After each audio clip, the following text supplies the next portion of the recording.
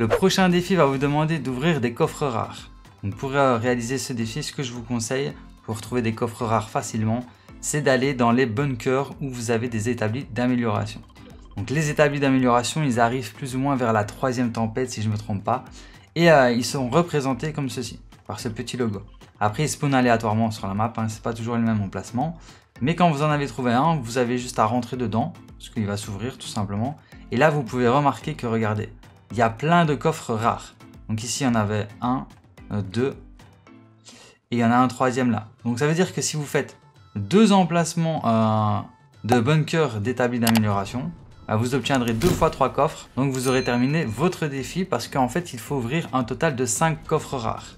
Donc si vous utilisez cette astuce, vous allez pouvoir réaliser votre défi assez facilement. Code créateur.